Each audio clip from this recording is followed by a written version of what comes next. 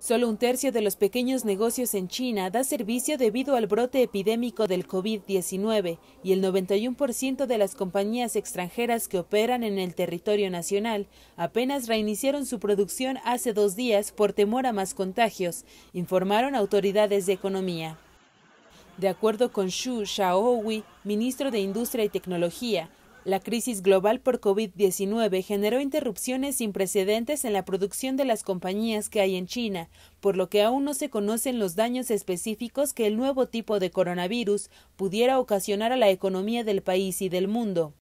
Por otra parte, el analista de riesgos de China, Kent Kettle, aseguró que a pesar de los años de ensayos para prevenir este tipo de casos, donde las empresas de Estados Unidos y Europa dejan de recibir recursos de su proveedor habitual, esta vez se enfrentan a una situación donde todo el país dejó de proveerlos, informó el South China Morning Post.